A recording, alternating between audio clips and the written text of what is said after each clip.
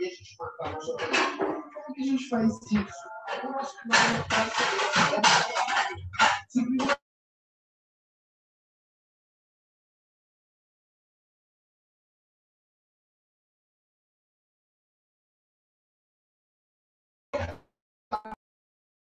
primeiro é a tumor, quando ele começa a ficar bom, você começa a fazer reação ressuscitar ele morre.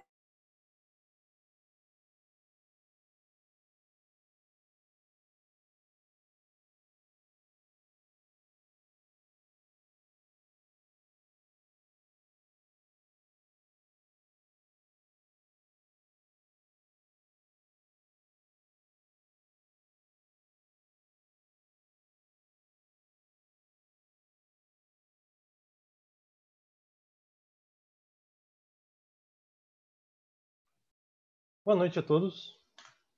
Bem-vindos à terceira aula de Cálculo 1, desse período letivo excepcional. É, antes de já eu lembro que se alguém ligar a câmera ou o microfone, estará permitindo que seja recordado, gravado e disponibilizado esses dados na internet.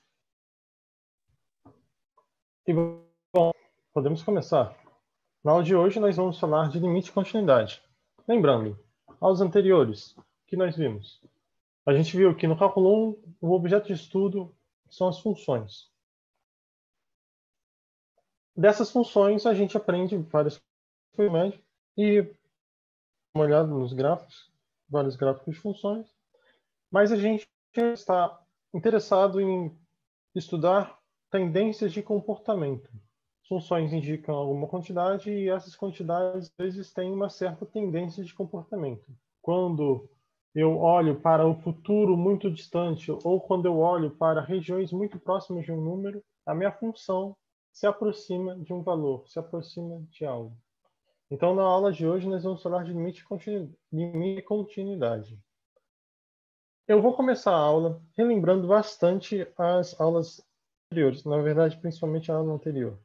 E se vocês tiverem qualquer dúvida, podem falar. As dúvidas são muito bem-vindas, ajudam a aula. Bom, primeira coisa, na última aula, lá no gráfico, eu esbocei e escrevi de propriedade, sobre propriedades do limite. Propriedades que o limite de uma função tem. Quando o limite de uma função olhando para o gráfico, seria o seguinte.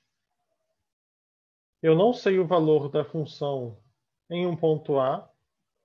Saber, na verdade. Mas não necessariamente eu sei o valor da função num ponto A, mas eu sei que a função, quando se aproxima, quando x se aproxima de um valor A, essa função se aproxima de um valor L. Então eu digo assim, quando x chega perto de A, f de x chega perto de M. Essa foi a definição por alto. Eu dei uma definição mais precisa na aula, de, na aula passada, mas essa aqui é uma definição visual que a gente vê é, para relembrar o que, que é, o que quer dizer limite de uma função bastante. Quando a gente vai calcular o limite de uma função, a gente não olha para o gráfico. Na verdade, a gente precisa só através da expressão. Por exemplo, se eu entrego para vocês uma função de x igual a x ao quadrado vezes cosseno de x sobre x vezes cosseno de x menos 1, gostaria, por exemplo, de dizer qual é o comportamento dessa função quando se aproxima de zero. Quanto vale a função em, no, em torno do zero? E, bom, quando a gente pode ver que f não existe, porque eu teria que calcular zero vezes 1 sobre zero vezes zero. Mas isso aqui é mentira, não existe. É, não posso fazer uma divisão por zero, não está bem definido. Ainda assim, quando a gente olha para o gráfico das funções, a gente fez com gráficos de outras funções no programa ontem, no, ontem, no GeoGebra, a gente vê que a função ela se aproxima de um certo valor quando é, se aproxima do zero. Beleza. Mas eu não quero olhar para o gráfico. Eu quero ser capaz de falar isso aqui sem olhar para o gráfico. Então, a gente usa propriedades. Essas propriedades aqui não vão ser suficientes ainda no início da aula para essa função que eu desenhei, que eu escrevi aqui para vocês. Mas a partir dessas propriedades a gente vai mais e mais funções para as quais nós conseguimos calcular os limites sem nenhum problema. Tudo bem? Então, bom, eu acabei não fazendo a pausa aqui, mostrar uma coisa de cada vez, então eu vou destacando para vocês cada passo. Primeira coisa, o limite da soma de funções é igual à soma dos limites. Coisa vale para a subtração. Antes de eu dar um exemplo de uma que a gente já saiba o limite, isso aqui fica, fica pendurado, fica em aguardo. Mesma coisa que pego a constante, uma constante qualquer, e eu multiplico pelo, pela função. Então, por exemplo, eu tenho uma função que poderia saber o limite de uma função f de x igual a x ao quadrado. Eu olho, porém, para uma função que é g de x igual a 4 e eu calculo o limite dessa função aqui, é suficiente que eu saiba calcular o limite dessa função determinado ponto. Então, uma vai ajudar a outra. Alguém perguntou, o limite daquela função que você mostrou anteriormente seria menos 2? Na verdade, eu não lembro mais. Eu acho que é zero. Eu não lembro mais qual era a função que eu, que eu escrevi, mas se não me engano é zero. Depois a gente vê, porque a gente vai ver isso, tá? Porque a gente precisa de limites fundamentais. Limite fundamental não é, não é coisa de. De qualquer forma, eu posso então partir de uma função que eu conheço ao limite em algum ponto chegar ao limite de outra função em outro ponto. Mesma coisa aqui. Poderia repetir, por favor? O áudio também está travando. O áudio está travando para todo mundo? Diga aí. Tá, para todo mundo. Deixa eu ver. Ah, sim. Ah, certo, calma aí. Agora, será que está melhor? É, melhorou, beleza, ok. Não entendi o que você falou no começo sobre a soma dos limites. Poderia repetir, por favor? Sim. Bom, o que eu falei sobre os limites, sobre a soma dos limites é o seguinte. Onde está também. O que eu falei sobre a soma. Gente, eu vou tentar uma coisa aqui rapidinho para ver se a... o áudio melhora.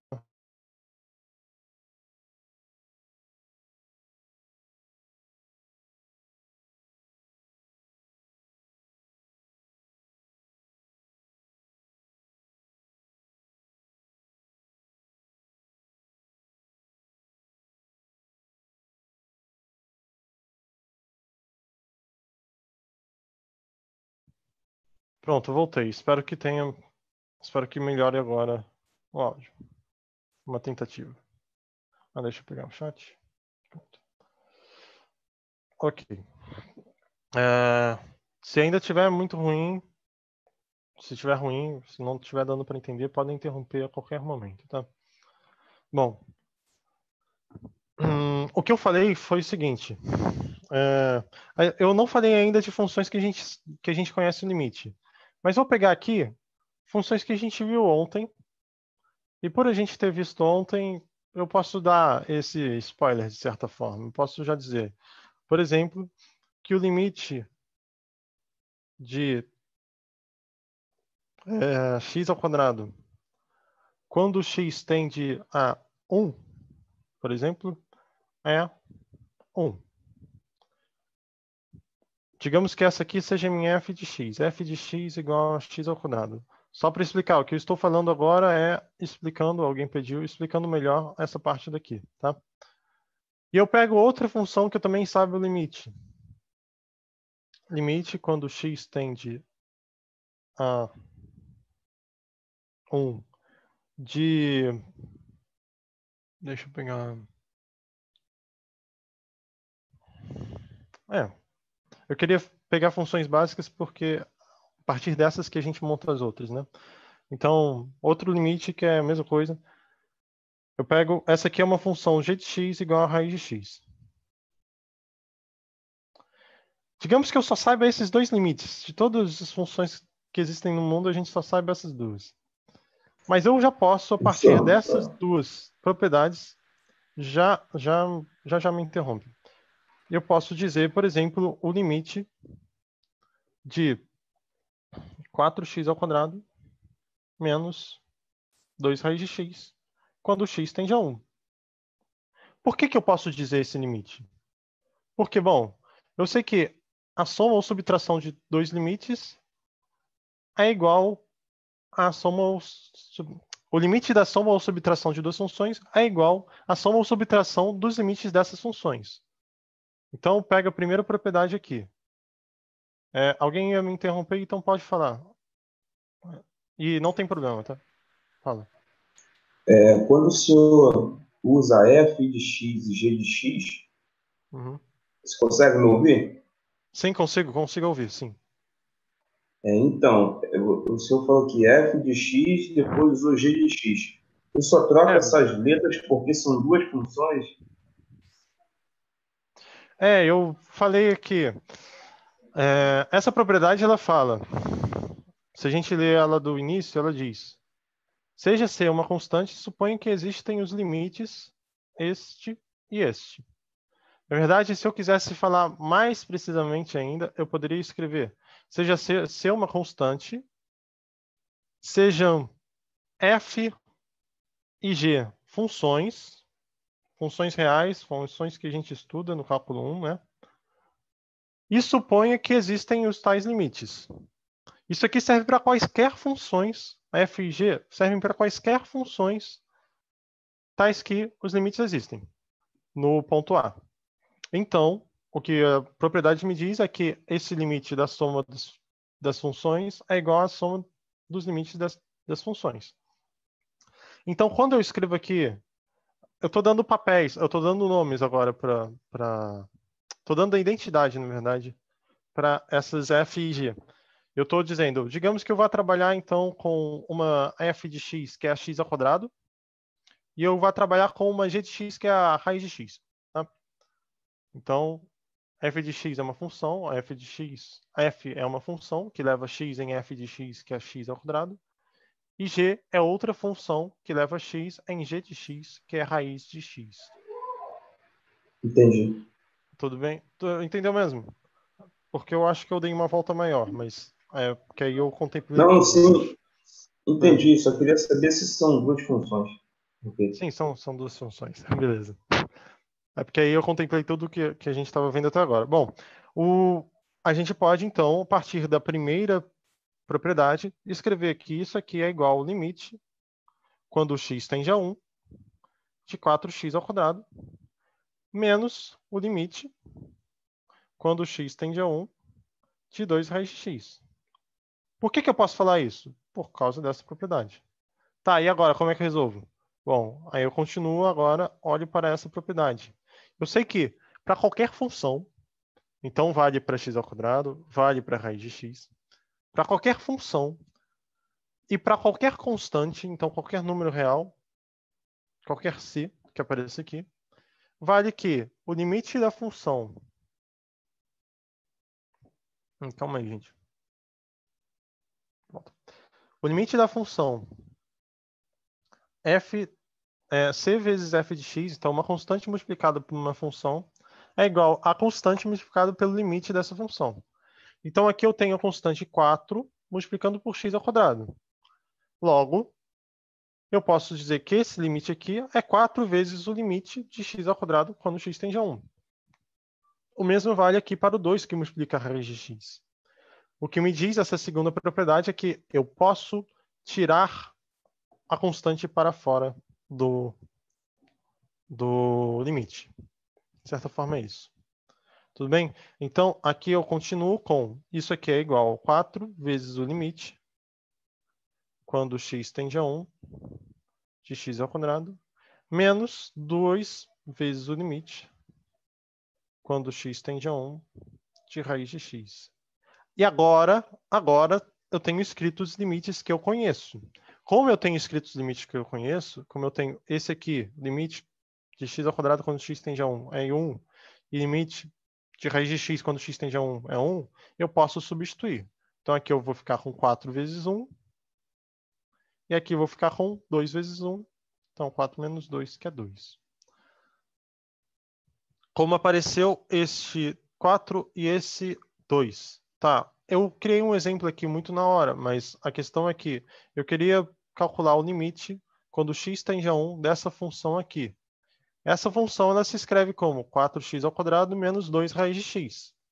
Quando eu separei a subtração, o que sobrou era a constante 4 vezes x ao quadrado e no outro limite a constante 2 vezes raiz de x.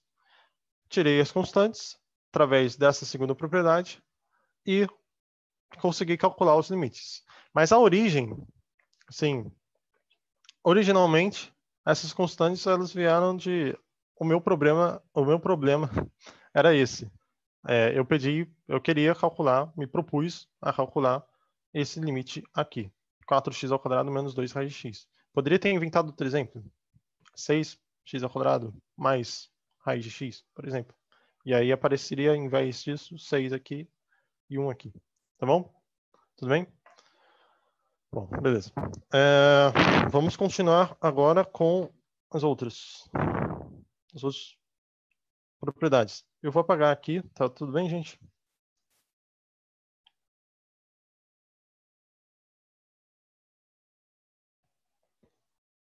E, é, bom, vou seguir com o seguinte.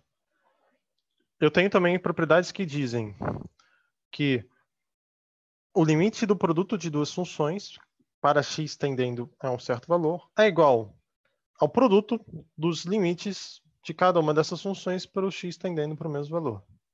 Então, digamos que eu tenha uma função que eu não sei qual função é essa.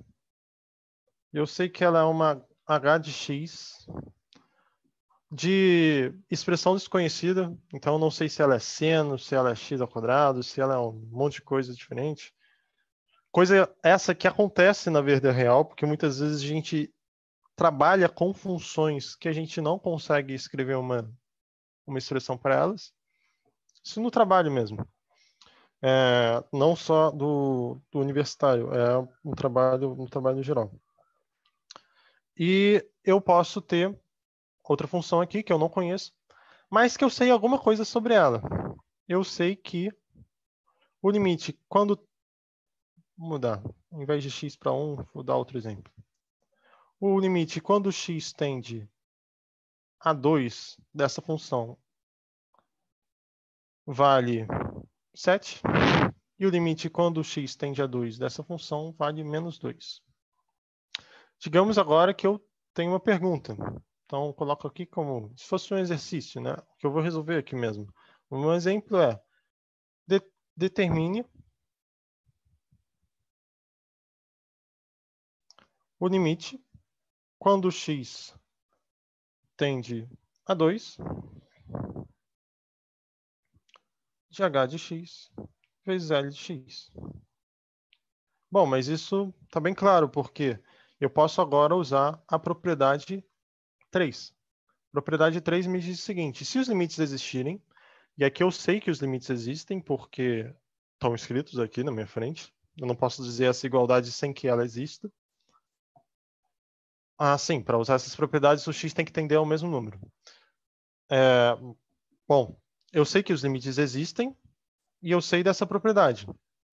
Então,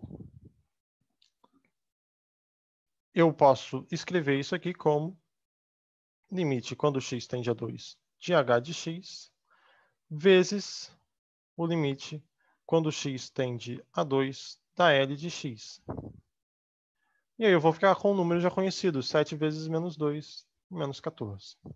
Sim, alguém fez uma pergunta importantíssima, que é, os limites têm que ser para o mesmo número? Sim, tem que ser para o mesmo número, senão não faria sentido.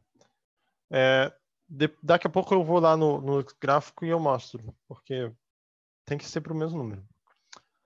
Bom, agora vou. A última coisa é essa propriedade 4.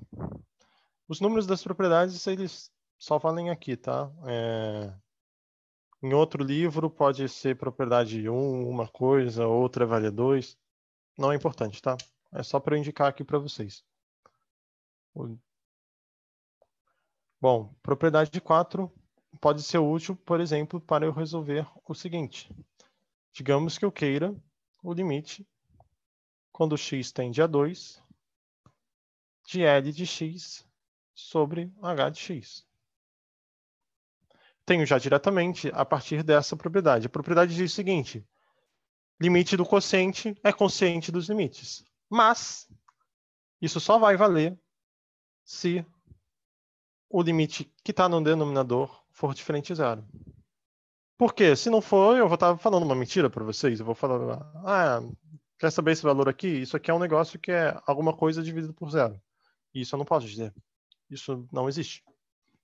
Bom, então, se eu continuo com as mesmas funções, h de x, quando x tende a 2, vale 7. Quando x tende a 2, vale menos 2, a l de x. É, vale não, né? Tende a.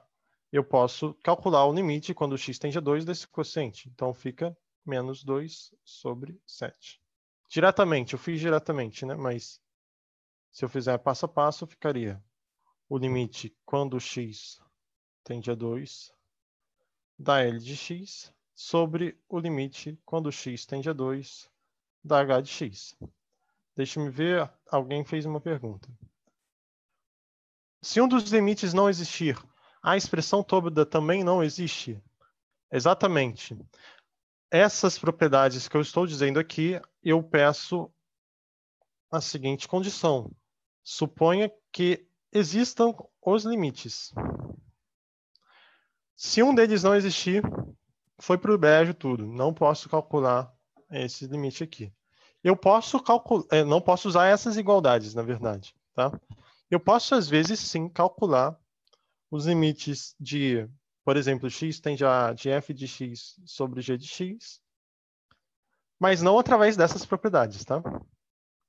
A expressão toda não existe no sentido que essas igualdades não valem mais. Mas, porque, porque eu teria que falar, isso aqui é igual a um limite que não existe. E se não existe, que número eu vou botar aqui? Se eu não tenho número para botar aqui, então não existe essa equação. Mas, não quer dizer que esse limite não exista, tá? Porque pode ser... Vou dar um exemplo bem simples. É, vou colocar aqui no canto para não misturar com o resto. Digamos que eu queira um limite quando x tende a zero de 1. Isso aqui claramente é 1, porque a função constante 1, para todos os pontos, ela está muito perto do valor 1. Ok. Mas eu posso reescrever essa função como limite quando x tende a zero de 1 sobre x vezes x. E bom, esse limite aqui, 1 sobre x, não existe. A gente inclusive viu ontem que ele não existe nem no sentido de limite infinito, porque por um lado ele seria uma coisa, por outro lado ele seria outra. Eu não posso falar isso aqui, então. Isso aqui é diferente de limite quando x tende a zero de 1 sobre x vezes o limite quando x tende a zero de, de x. Não vale essa igualdade que está aqui do produto, porque um dos limites não existe. Mas, ainda assim, esse limite aqui existe. Ok? Bom, alguma dúvida nessa parte da aula? Não havendo dúvida, passo para o próximo slide. Na verdade, antes ainda, eu vou... É, não. passar para o próximo slide mesmo. Ô, professor, Sim, fala. licença, boa noite. É, então, s- o último limite ali, o limite de x quando x tende a zero, não existe, né? Ou existe? Calma aí, qual o limite? O O lá em limite, cima, né? Esse verde. E, é, o limite de x quando x tende a zero, esse último aí. Ele existe ou Esse limite existe. não? Existe. É zero. Esse não existe. Esse aí é zero, então, o que existe. O que existe é igual a zero. Ah, E a beleza, gente vai entendi. ver, a gente vai ver, se bobear é no próximo slide que a gente vê isso. Tá, beleza. Mas esse aqui ele não existe. Sim, sim, entendi. E esse beleza. aqui ainda existe. Bom, ok, vou passar para Isso o que não próximo. existe porque É, sim. não tem divisão para zero, né? É, então, não só isso. A gente viu na aula de, de quarta-feira que ele não existe porque os limites laterais não são iguais. É, mas também, por outro lado, não existe porque o limite infinito, e aí é uma coisa mais só teoria mesmo. É, o limite para infinito, ele não necessariamente é um. Ele não é um valor real, não é um limite real. Quando, quando eu digo que quando x tende a zero pela direita, 1 sobre x tende a mais infinito, coisa que a gente falou na última aula, deixa eu escrever. Quando eu digo que o limite, quando x tende a zero pelo lado direito de 1 sobre x é mais infinito, de fato, isso aqui está certo. Mas eu poderia dizer que não existe esse limite como um número real. Não é um número real. E se não é um número real, eu não posso chegar aqui e simplesmente colocar na conta. Tá bom? Ok. Isso aqui vale apenas para números reais, essas propriedades. Depois a gente estende conforme for conveniente e possível para os, para os limites infinitos. Eu vou apagar tudo aqui para passar para o próximo slide.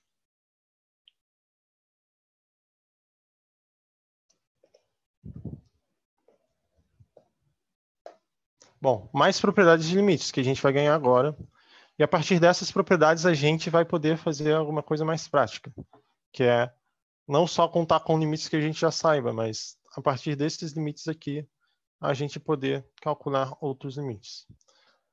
Bom, se no slide anterior eu pedi duas funções, uma f e uma g, tais que elas têm um limite existindo e eu pedi uma constante c, aqui eu também peço um número n, um número inteiro positivo. Então, um número natural, né? sem contar o zero. Bom, nós podemos dizer o seguinte: primeira propriedade, que o limite, quando x tende a a, de g de x elevado a n, é igual a limite de g de x elevado a n. Por que, intuitivamente, por que, que isso vale? Isso vale por conta da propriedade do produto, porque eu poderia escrever o limite quando x tende a de g de x elevado a n como limite quando x tende a a, eu já vou atender a dúvida, de g de x vezes g de x, g de x,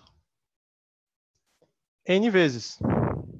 Ficou torto aqui, porque entortou a mesa, mas n vezes. A partir da propriedade anterior do produto, que eu, a propriedade 3 da, do slide anterior, eu posso dizer que isso aqui é o, igual ao limite quando x tende a de g de x, vezes o limite quando x tende a de g de x, vezes n vezes limite quando x tende a de g de x. Mas, ora, isso aqui é a enésima potência do limite de g de x, quando x tende a. Alguém perguntou, professor, seria considerado indeterminação se o limite resultar em infinito ou ele simplesmente não existe? Palavras é, perigosas, porque, bom, para fins teóricos, assim, muito, muito teóricos, a gente diria que não existe. Mas, na prática, a gente vê ali um comportamento. A gente pode indicar um comportamento.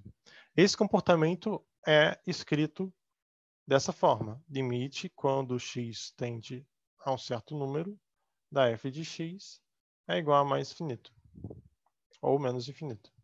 Esse comportamento é escrito dessa forma porque, é, tirando o fato de estar tá se aproximando de um certo número real L, tem todo, tem todo o resto da definição de limite batendo ali.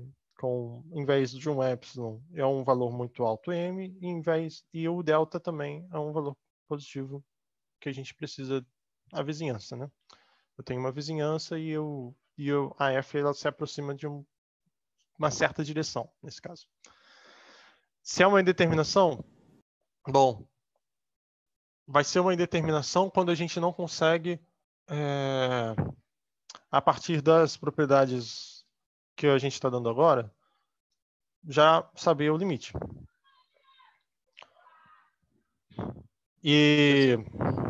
Calma aí, rapidinho. É porque passou, passou gente gritando aqui. Bom, e a partir disso, a indeterminação ela vai ser não existe, não é determinada a função naquele ponto. O que a gente já pode dizer, porque se está indo para infinito, então não está se aproximando de nenhum valor real. Calma aí. É porque essas palavras são, são, são muito sensíveis. Mas acho. Bom, ficou satisfeito um pouco, porque eu posso considerar que é um limite infinito. Não, é não necessariamente a gente diz que isso é um limite formalmente, mas a gente não se preocupa com isso. Em termos práticos, é, é como se fosse um limite.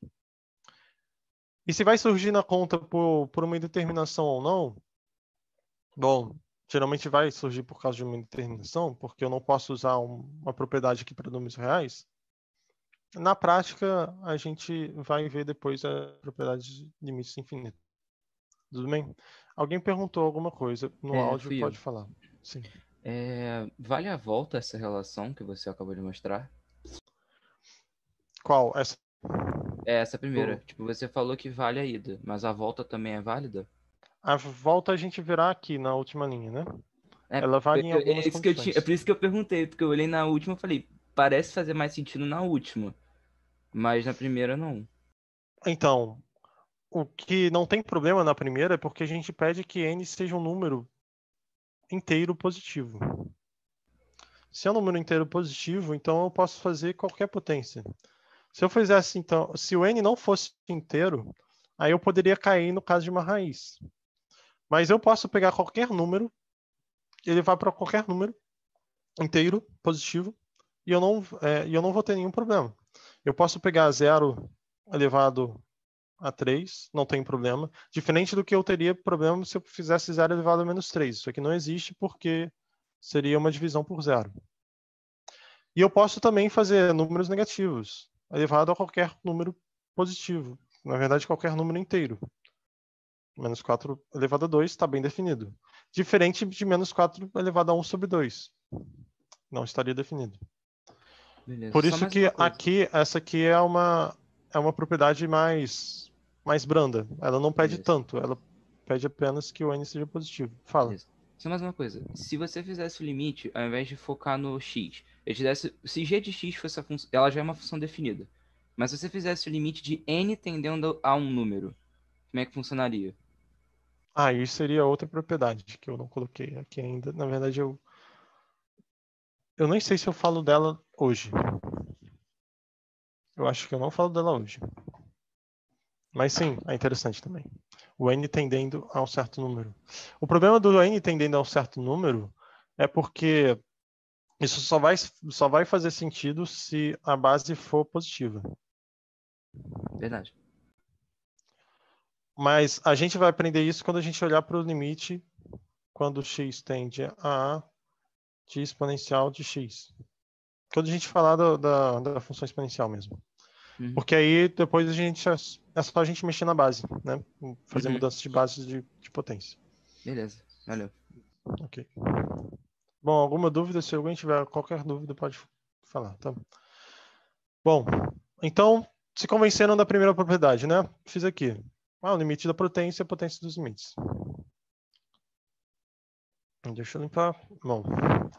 Segunda propriedade. É a primeira propriedade que realmente vai falar para a gente o limite de alguma função. É, essa propriedade é o seguinte. Limite de uma constante, quando x tende a qualquer número, é uma constante. Tá, coisa mais óbvia, então, né? Porque, voltando, como é que é o gráfico de uma função constante? Tem aqui x, y, tem aqui a constante c, eu tenho uma reta horizontal. E, bom, para todo A, na vizinhança do A, quando x se aproxima de A, todos os números, todos os valores da f de x vão ser o mesmo, vão ser c. E vão estar se aproximando de c, não vão estar se aproximando de mais nenhum outro número. Para se aproximar de outro número, teria que sair dessa rota do c. Vamos sair da rota para se aproximar de outro número. Então, bom, fica é óbvio essa essa propriedade. Se, se, se, alguém não achar óbvio, também não tem problema. Pode falar. Porque aí a gente vê com mais precisão. Bom. A próxima propriedade é que o limite quando x tende a de x é a. Então a gente está olhando agora para a função identidade. Função identidade é essa, que passa com ângulo de 45 graus pela origem. É uma função afim, representa uma reta. E ela joga todo um ponto nele mesmo. Então, aqui eu tenho x0, aqui eu vou ter x0 também. Bom, é... por que que vale? Bom, se a gente pegar qualquer epsilon aqui em torno de x0, qualquer vizinhança, então eu quero x0 mais epsilon, x0 menos epsilon. Eu acho que só para esse que eu vou fazer o, o epsilon, tá? É só eu pegar o delta igual a epsilon e eu vou estar tá restringindo. Bom, tá aqui de x0 menos epsilon até x0 mais epsilon, todos os pontos aqui no meio, tirando o x0, o x0 também vai estar, tá, mas a gente não precisa dele para o limite. Todos os pontos aqui no meio vão estar tá caindo pela função f de x em nessa vizinhança do x0. Vão estar tá muito próximos do x0. Ah, eu quero muito próximo do x0 aqui. Eu quero 1 sobre 1 milhão. Então é só eu pegar aqui um intervalo 1 sobre 1 milhão próximo do x0 no x. Bom, então também faz todo sentido esse aqui. A partir desses dois, a gente pode é, calcular, por exemplo, o limite, só usando as propriedades, o limite de quando x tende a qualquer número A,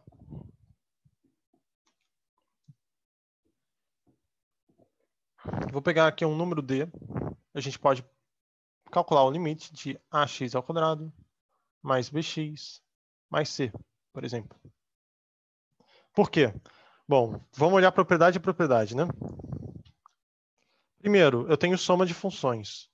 Para olhar para a soma de funções, eu olho para essa propriedade aqui, a primeira. Limite da soma de funções é a soma dos limites das funções. Ok. A gente faz esse passo a passo por quê?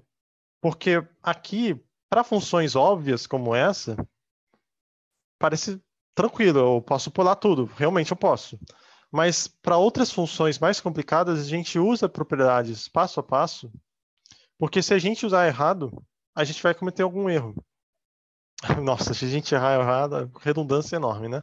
Mas se a gente usar errado no sentido, se eu faz, fizer um passo que não é uma das propriedades que a gente tem dos limites, se eu fizer, ah, esse limite aqui é igual a uma, outro limite aqui, sem usar essas propriedades, aí eu vou estar cometendo um erro.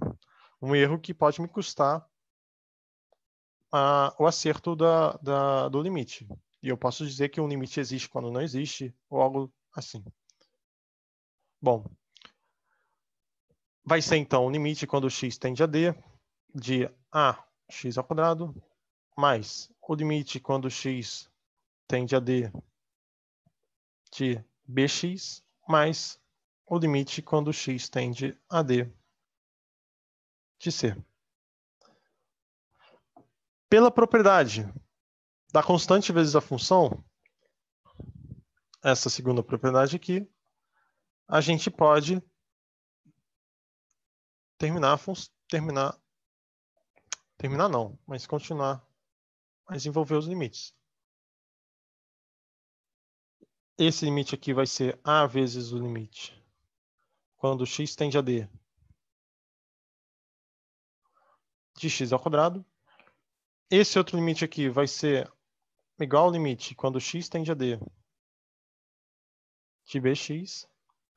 Mas esse outro limite aqui, bom, esse aqui eu já vou pular, usar essa propriedade, segunda propriedade desse slide. Esse aqui vai dar C. Certo? Continuando. Esse limite aqui vai ser o quadrado do limite do x. Então, vai ser A vezes o limite quando x tende a d de x ao quadrado, mais b vezes... Ah, sim, o b eu já tirei, né? Eu já deveria ter tirado.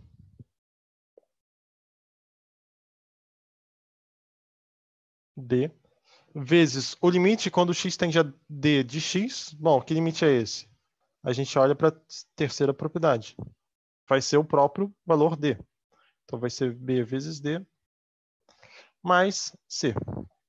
E aí, para terminar, esse limite aqui é d também. Então eu fico com ad ao quadrado mais bd mais c. Parece um jeito muito mais demorado de calcular o valor de uma função num ponto. É, parece porque a gente tem aqui uma função contínua. A gente vai falar.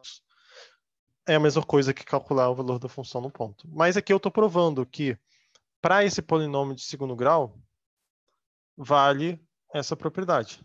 Na verdade, a gente vai ter isso para todos os polinômios, por conta dessa soma, dessa potência, dessas constantes e principalmente da identidade que vai valer isso. Professor, qual seria a vantagem de fazer dessa forma em relação a fazer direto? Bom, a gente não precisa fazer dessa forma quando a gente for calcular um limite como esse. Eu, quando, porque ainda na aula de hoje eu vou falar, essa, eu vou falar o seguinte, essa função aqui é uma função constante, contínua. A partir do momento que eu falar isso, você pode fazer direto. A vantagem é, tem funções que não são contínuas.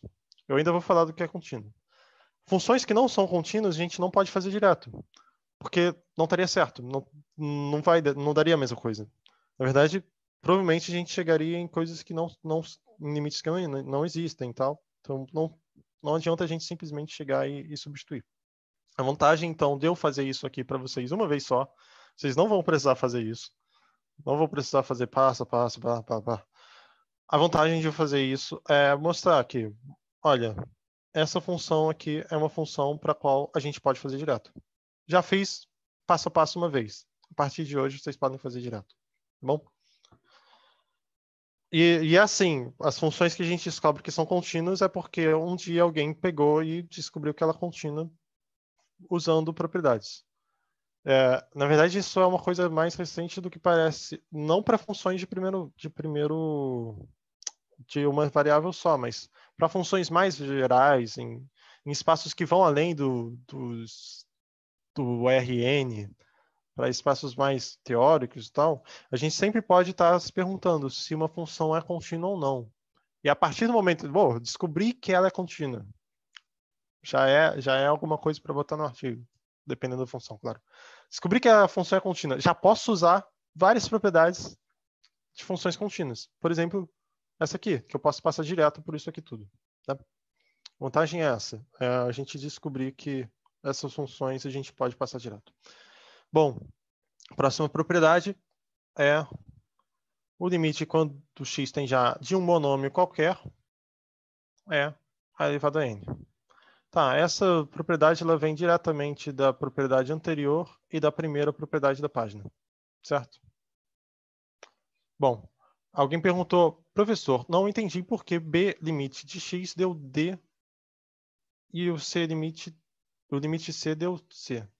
Bom, se eu só escrevi b limite de x deu d, então eu errei, mas o que eu pretendi ter escrito era b limite quando x tende a d de x é b vezes d, tá? Se eu escrever errado, peço perdão. Tá bom? Vou chegar na última já já. Talvez agora mesmo. Mas entendeu quem perguntou agora?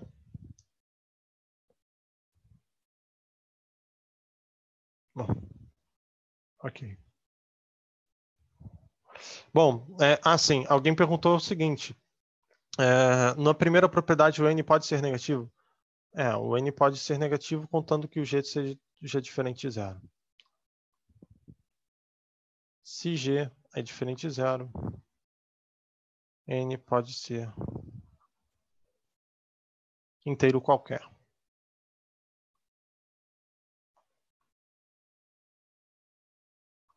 É, eu escrevi lá em cima, talvez por um, uma economia, mas que não vale muito a pena. Eu posso pegar aqui n um número inteiro, aquele pode ser positivo, contando que o de x seja diferente de zero. Só pergunto para vocês, por que isso? Por quê? Digamos que é, o de x não. Caramba, eu falei uma besteira aqui. O g x não, o limite. Porque pode ser que o limite, que o valor da g x seja zero, mas o limite não seja. E aí a gente não teria problema. Limite quando x tende a de de x seja diferente de zero. Perigo de eu ter falado uma coisa dessas. Bom, por que disso, gente? Porque, digamos que eu pegue n, exemplo, n igual a menos 1. E eu tenha g de x como uma função que é, é x mais um. X, se o x é diferente de menos 1 e é zero,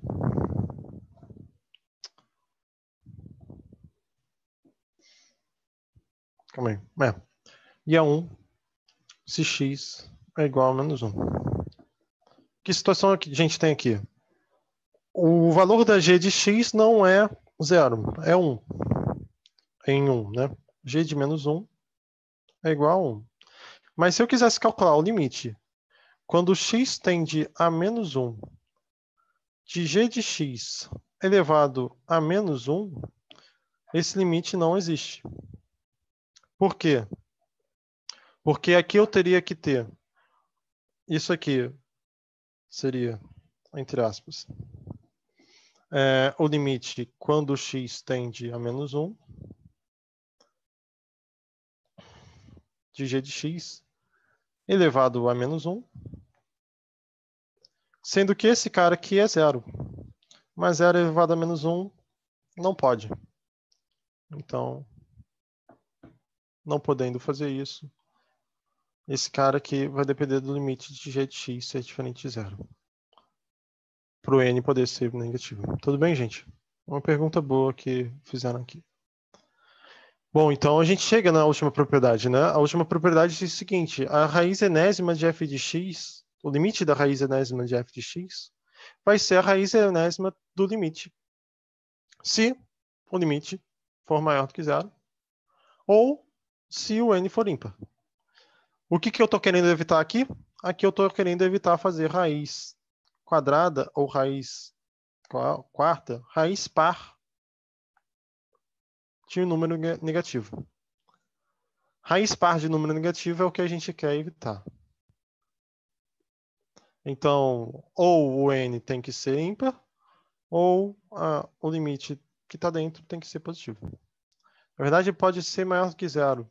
Pode ser também igual a zero. Está errado o que eu escrevi aqui, nesse sentido. Aqui pode ser maior ou igual, tá? Tem que corrigir isso depois.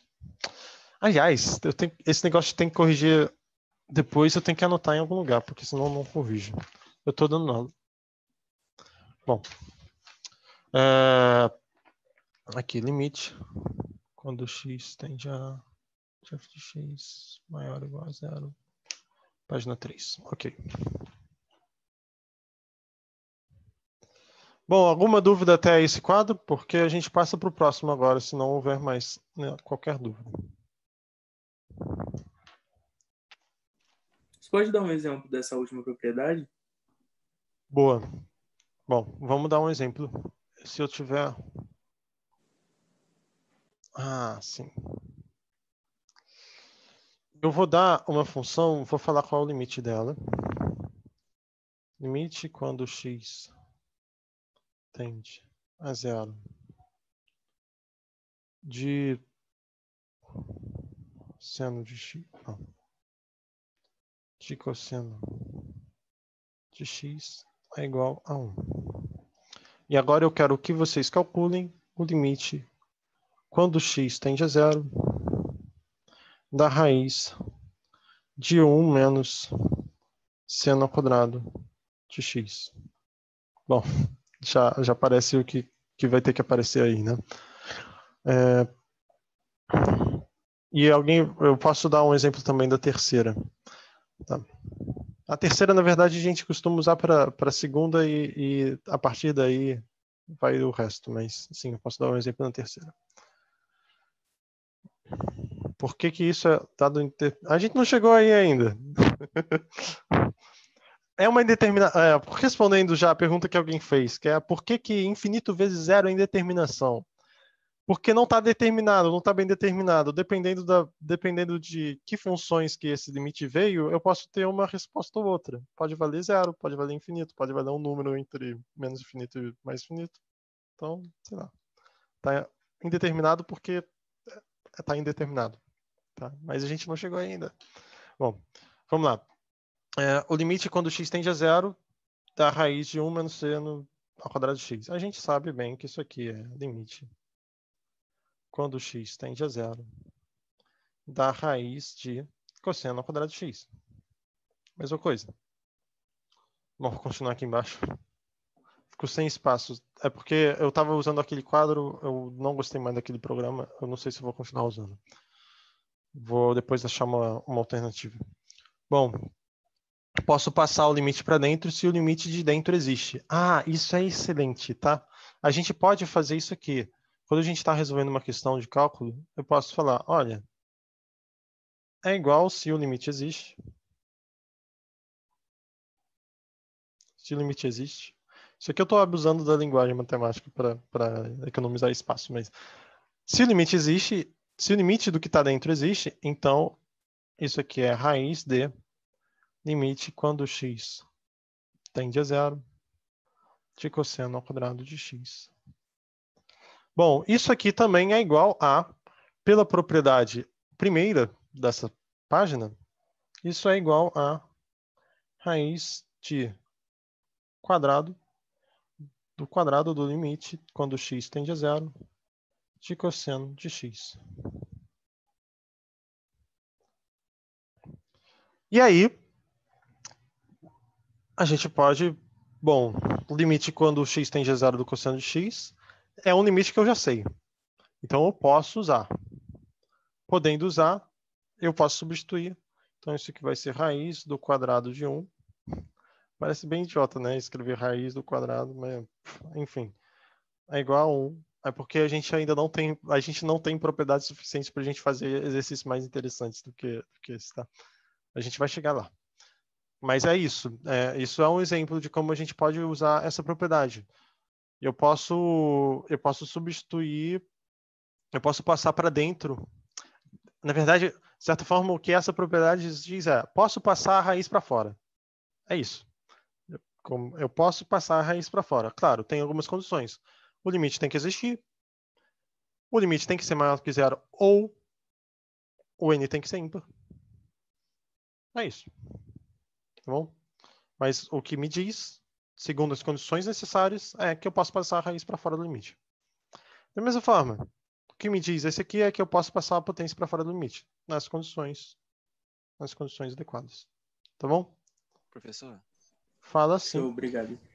é, aquele limite é quando dentro da raiz está 1 menos seno de x ao quadrado vezes x igual ao limite quando o cosseno ao quadrado é igual a x. Essa parte eu não entendi. Ah, eu usei uma propriedade, uma propriedade é, trigonométrica, que 1 menos seno ao quadrado de x é igual ao cosseno ao quadrado de x. Essa propriedade a gente vai usar nesse curso, com certeza. Ela, eu acho que é a propriedade geométrica, tirando, tirando que tangente de x é igual a seno de x sobre cosseno de x, eu acho que essa aqui é a que a gente mais usa, tá? É mais importante. Então, Valeu, valeu. é, é só, é bom lembrar. Eu demorava, mas é, é bom lembrar. Professor, quando você entrar em determinação dos limites, vai ter um bizu sobre produtos notáveis e faturação para poder sair da interdeterminação. Ah, eu gosto de falar disso, sim. Bom, não sei como, como é que vai ser lá, mas eu gosto de falar disso. De como, como manipular para os limites, principalmente limite quando x tende a infinito, né? Quando o limite é um limite infinito. Gosto de falar disso. No período passado, eu, eu pulei um pouco isso. Eu tive que dar depois, é, porque, sei lá, preparando as aulas, eu dei foco em outras coisas e acabei deixando, mas é, depois eu fiz questão de, de falar disso.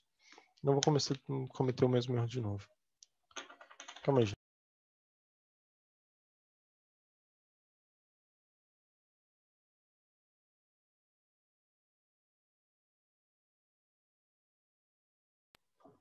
Pronto. Sim, é o que complica na hora de resolver limites.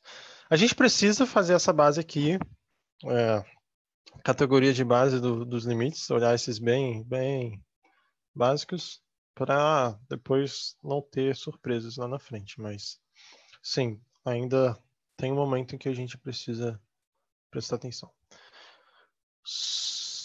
Professor, nesse exemplo, não poderia passar o quadrado do cosseno para o outro lado e substituir direto a raiz toda? Não. Você diz cortar o quadrado com a raiz? Sim, porque eu fiz isso, né? Eu fiz a raiz do quadrado de uma coisa e eu descobri que essa coisa aqui era igual a 1. Mas eu poderia ter cortado antes, sim. Aí eu ficaria com o módulo dessa coisa que está dentro, que depois eu descobri que era igual a 1. É isso, né? Tá perguntando?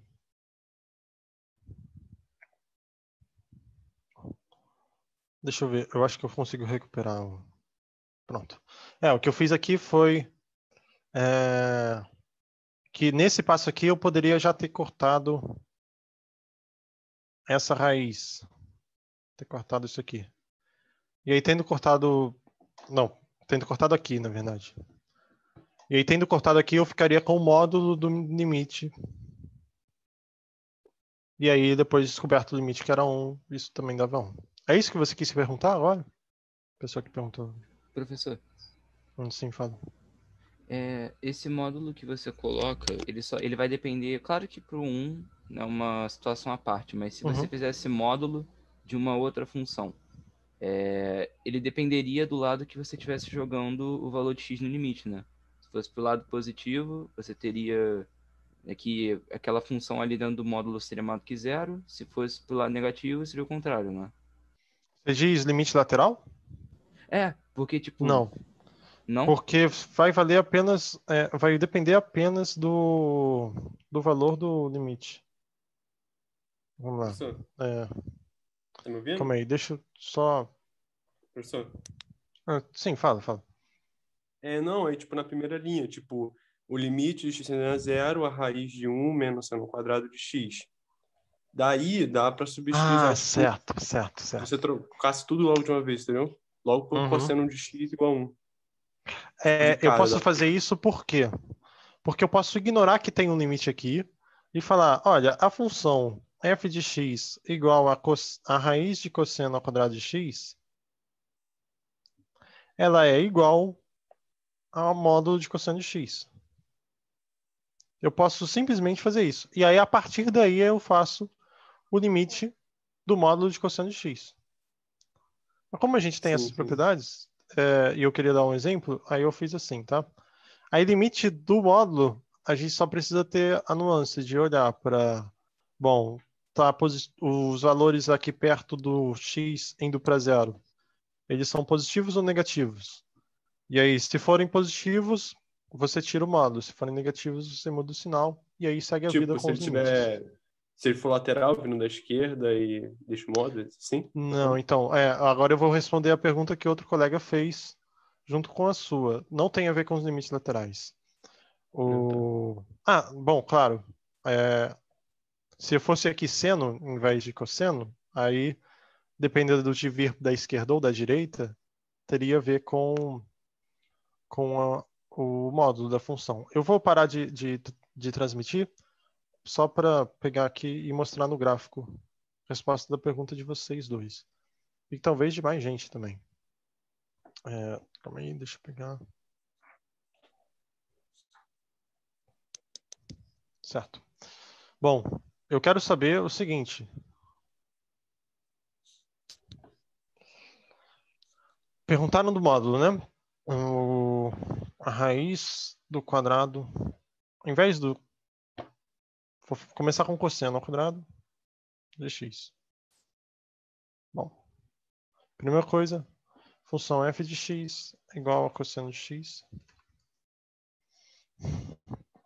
Eu quero olhar para o que acontece quando x tende a zero.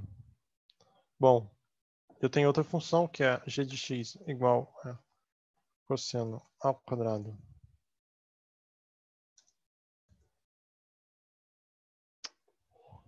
ah,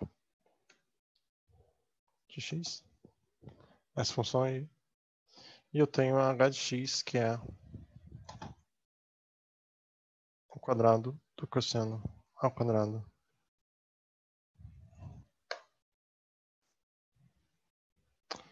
É, eu ainda não descobri como sair do, do expoente. Que coisa.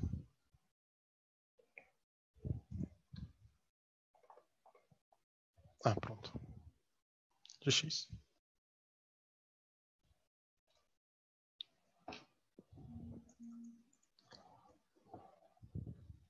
Ufa. Certo. É, vocês veem que são três funções diferentes, né? Onde a função em vermelho é a mesma coisa que o módulo de cosseno de x. Porque só pega a parte positiva, né? Então aqui ele reparte por cima. Bom, ok, vamos olhar para limite. Limite quando x tende a zero. O que acontece quando x tende a zero? Se aproximar aqui. Opa.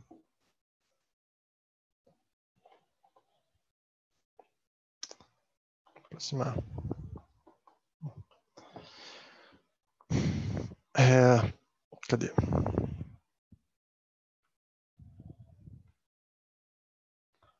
Limite quando x tende a zero da f de x.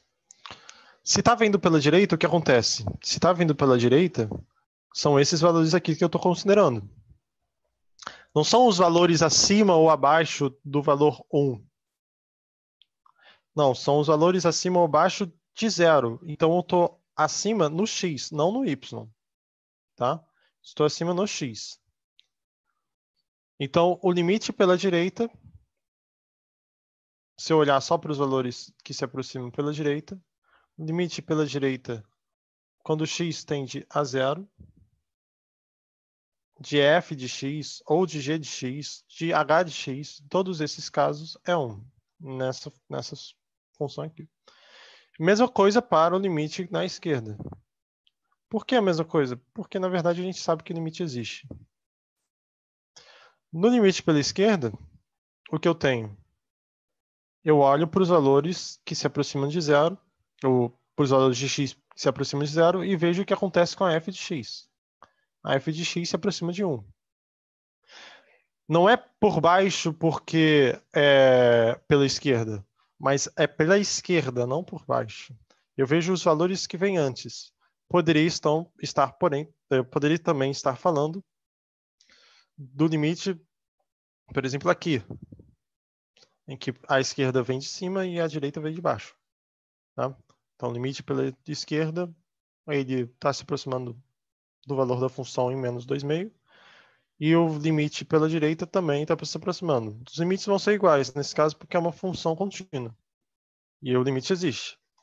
Mas é, se tem, se vai ser por cima ou por baixo, não tem a ver com se vai ser positivo ou negativo, não tem a ver com o limite lateral.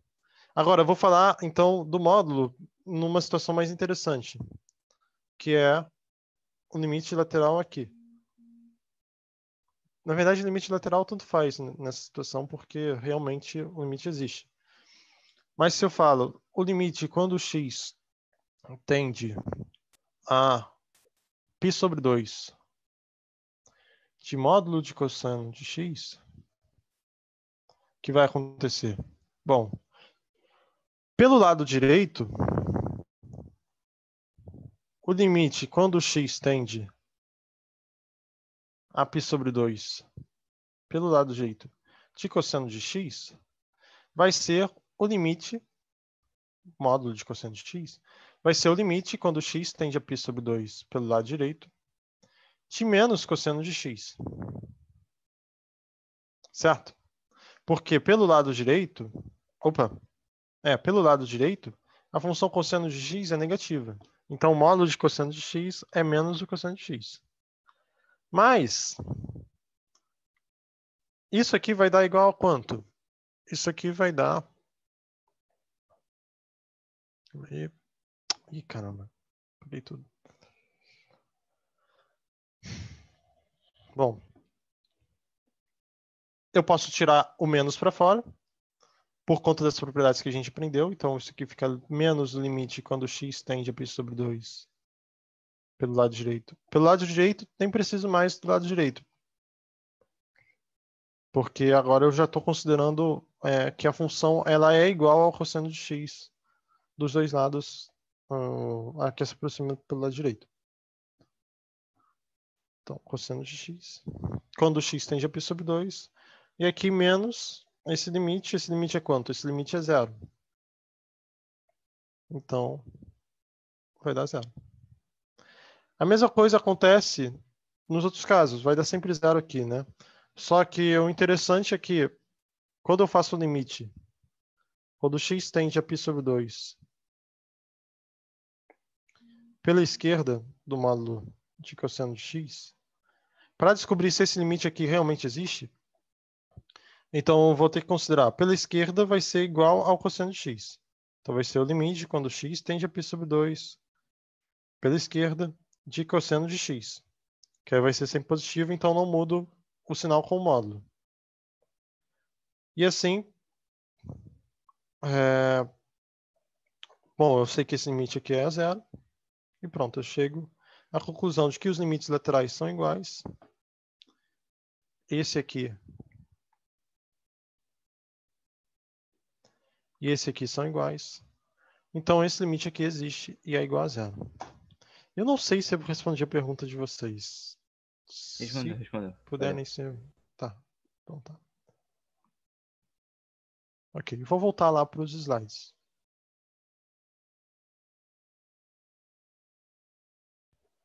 Bom. Alguém perguntou se a última propriedade poderia ser com qualquer, com qualquer expoente. Então, vai depender, né? Se eu estiver falando de um número positivo, então, se na base da minha raiz tiver um número positivo, eu posso fazer qualquer raiz, qualquer expoente que seja. Beleza, então sem problemas. Mas se eu tiver um número igual a zero, eu não posso pegar um n negativo. E se eu tiver um número negativo, eu não posso pegar um n que não seja inteiro. É, e que não seja ímpar. Tá? É isso. Bom, mais alguma dúvida nessa parte? Não havendo dúvidas, eu passo adiante. Ok. Bom, agora a gente vai falar também propriedades da substituição direta, que é, na verdade, tem tudo a ver com a segunda parte da aula, A segunda parte da aula de hoje é a aula de hoje, é, que é a de continuidade. A partir das propriedades anteriores, concluímos a seguinte. Propriedade da substituição direta. Se uma função for polinomial, racional, raiz ou qualquer soma, subtração, produto ou divisão das anteriores, vale, caso A esteja no domínio de F, essa propriedade aqui, que é só eu substituir. De onde que eu tirei isso? Eu tirei do fato de que eu tenho eu tenho essas propriedades. Eu tenho que soma de funções é, limite da soma de funções mantém é igual à soma dos limites. Se eu multiplicar por constante, eu também posso tirar a constante do limite, sem problemas. Se eu fizer produto, não tem problema, mantém. Se eu fizer quociente, contando que o g de x seja diferente de zero, o limite quando o g de x seja diferente de zero, está valendo também. E aqui, eu ganho monômios, eu ganho constantes, eu ganho a função identidade, eu ganho funções raízes e funções potência. Potência de funções, na verdade. Ganhando isso, todas essas funções aqui que eu escrevi, funções polinomiais, racionais, raízes ou qualquer soma, subtração, produto ou divisão das anteriores, é um, uma função que é montada a partir das propriedades anteriores. Então, digamos que eu tenha a seguinte função. Seja f de x igual a x ao quadrado menos raiz de x mais 1 sobre x à quarta menos 16. Bom, o que, que essa propriedade da substituição direta vai me dizer sobre essa função? Essa função é uma função que é ou soma, subtração, produto ou divisão das anteriores, da, de um polinômio, que eu tenho aqui no denominador, eu tenho aqui uma raiz no numerador, que soma com outro polinômio, eu tenho uma divisão das duas. Essa aqui é quase como se fosse uma função racional. Só essa raiz de x aqui que atrapalha que ela não seja uma função racional. Mas o que, que essa propriedade me diz? Ela me diz que se o A estiver no domínio da f, eu posso pegar limite quando x tende a da f de x é simplesmente a f no ponto A. É só substituir. Então, se eu quero saber, digamos, limite quando x tende a limite quando x tende a 1 da f de x, eu pego limite quando x tende a 1 da f de x é igual a quanto? Bom, primeira pergunta que eu tenho que fazer. A, A igual a 1. A está no domínio de F? Sim. É, esse, esse é o ponto, sim. Está no domínio de F porque eu posso calcular F em 1. F de 1 é quanto? É 1 ao quadrado menos raiz de 1, mais 1, sobre 1 a quarta menos 16. Ou seja, vai dar menos 1 sobre 15. A f de 1 existe. Então, 1 está no domínio da f. Se 1 está no domínio da f, então eu posso pegar que isso aqui é igual a f de 1. Beleza? Maravilha. Outro exemplo.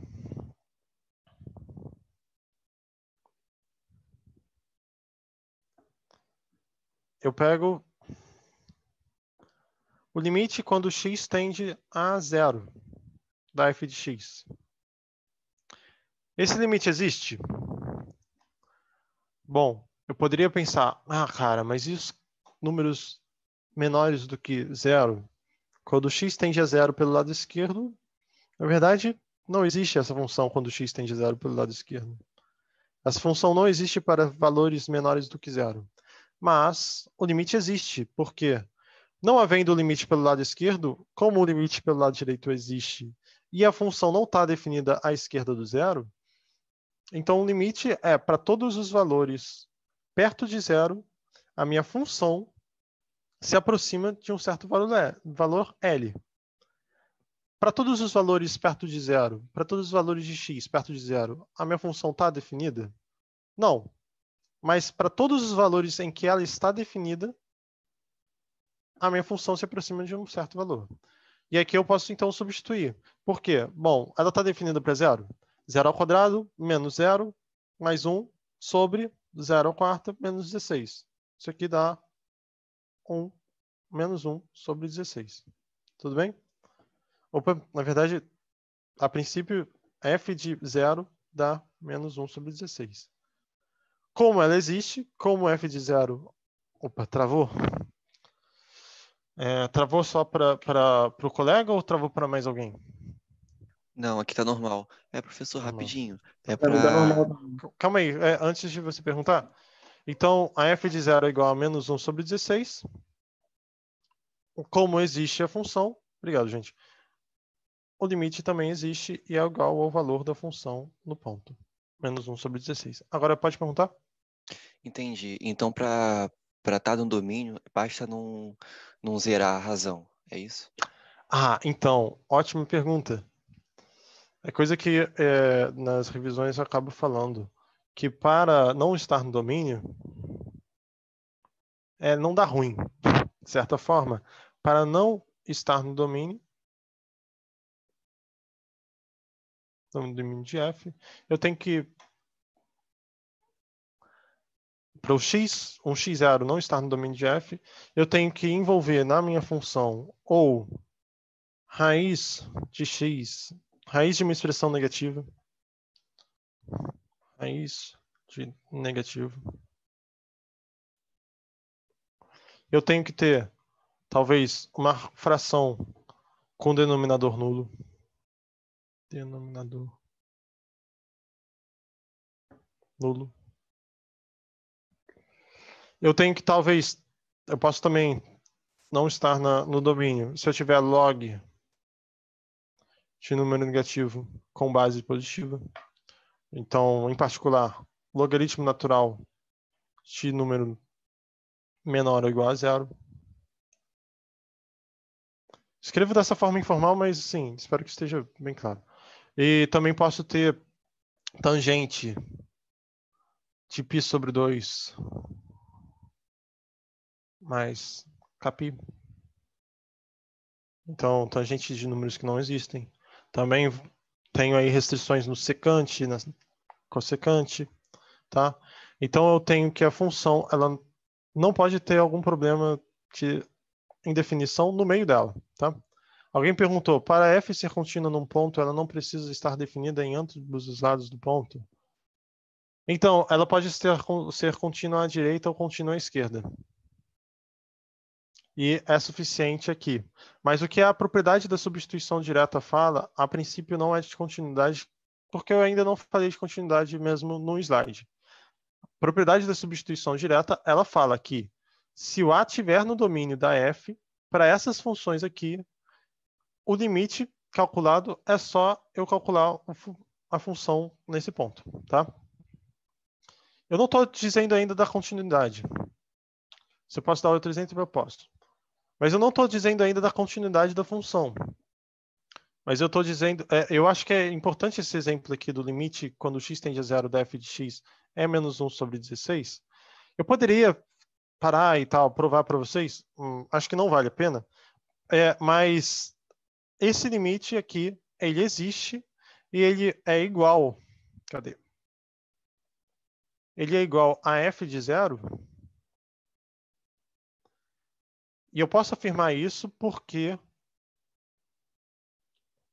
esse limite aqui, ele cumpre todas as condições para essa propriedade. Como, como cumpre todas essas condições, ou seja, essa f de x ela é montada através de soma, subtração, produto ou divisão das funções polinomiais, racionais ou de raízes, e o zero está definido para essa f de x, então eu posso substituir. Eu posso fazer essa substituição, tá bom? É porque eu acho que não vale a pena mesmo é, seguir muito nisso. Bom, mas, de qualquer forma, alguém pediu outro exemplo, eu posso dar um outro exemplo. Outra função.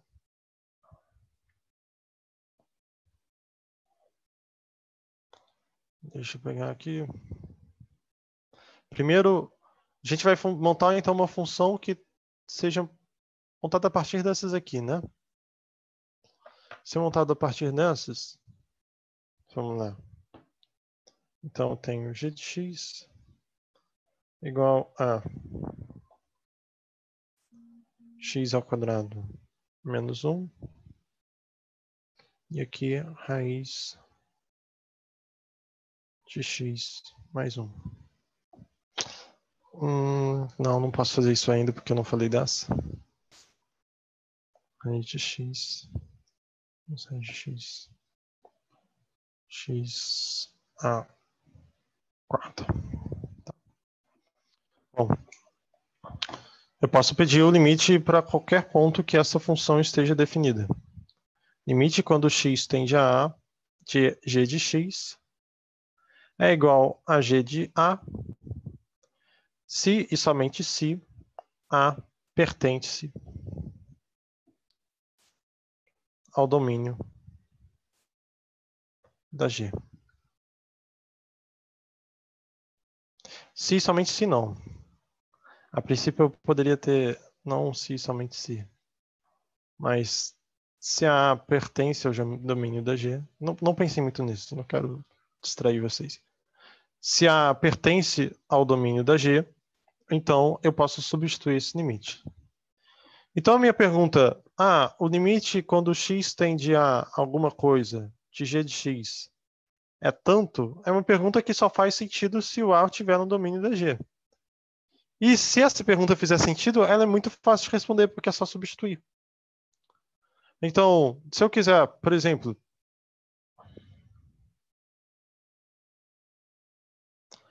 quando x tende a 2, o que vai acontecer? Está bem definida. Aqui eu tenho 2 a quarta, 16, menos raiz de 2, sobre 4 menos 1. Então vai ser 16 menos raiz de 2 sobre 3, o valor da função. E pronto. É o valor do limite, quando x tende a 2 também. Agora, se eu tiver um ponto onde essa função não existe, a situação é diferente.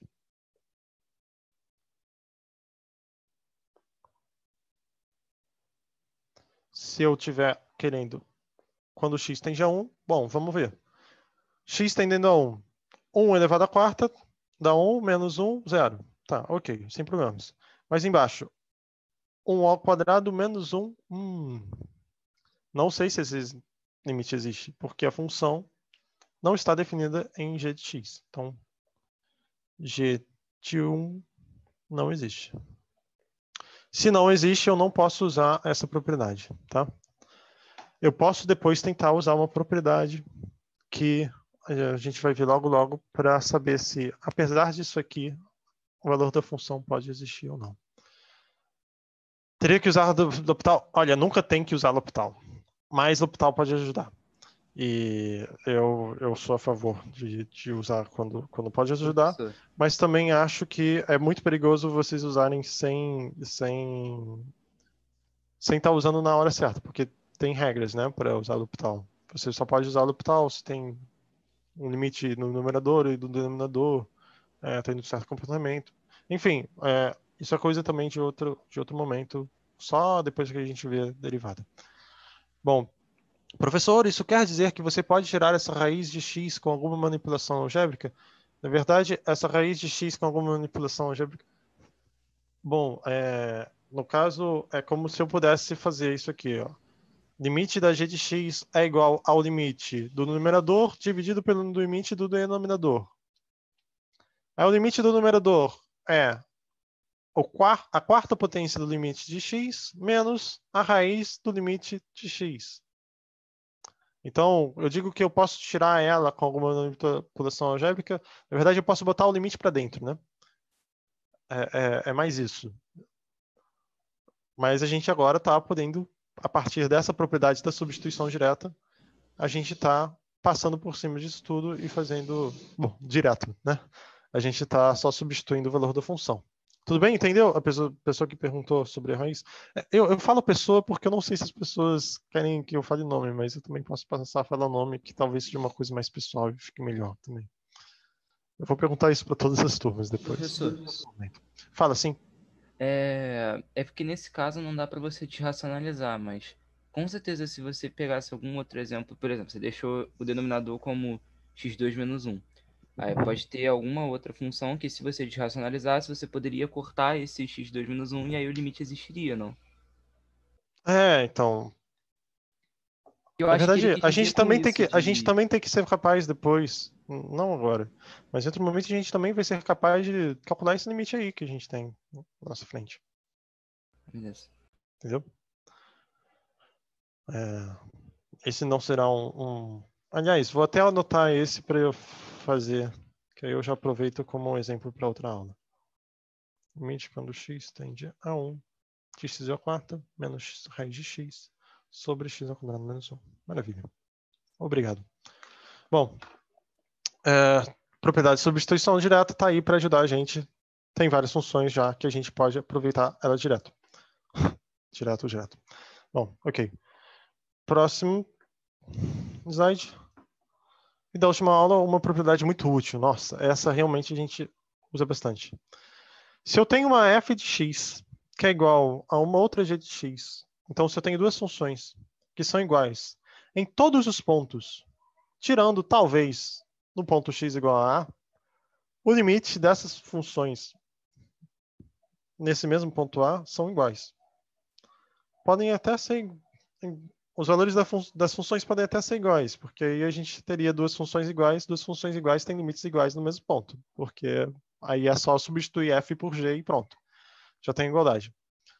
Mas eu tenho esse limite aqui, quando é, essa igualdade dos limites, quando uma função ela só difere da outra por um pontinho só, os limites nesse ponto também são iguais. Eu vou dar, antes de, de dar exemplo, é, eu vou mostrar na calculadora um. Calma aí.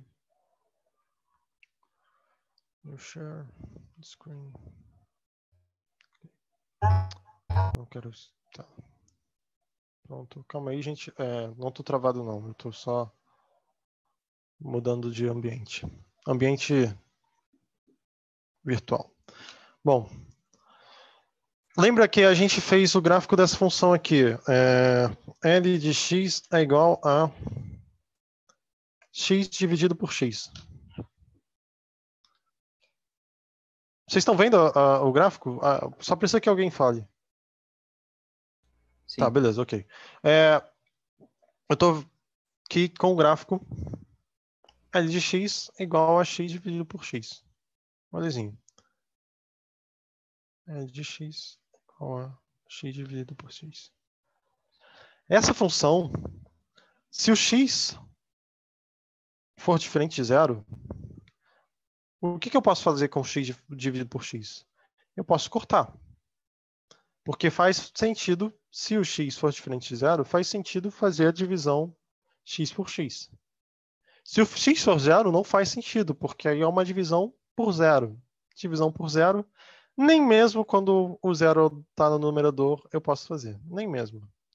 Mas se o x for diferente de zero, x dividido por x é igual a 1. Logo, se x for diferente de zero, L de x é igual a 1. Que eu poderia estar chamando 1 a outra função, a função m de x. Tá faltando letra, né? Eu já tenho f, g, h ocupado aqui, m de x.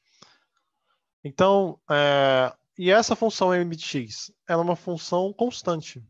Sendo ela uma função constante, eu posso dizer, bom, limite quando x tende a zero da m de x é igual a 1.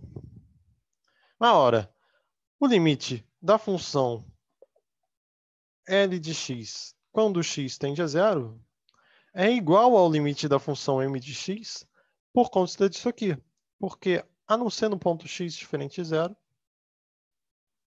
no, no ponto em que x é igual a zero, a L e a m são a mesma função. Então, elas são a mesma função a menos de um ponto. Se elas são a mesma função a menos de um ponto, eu posso dizer que o limite das duas é igual.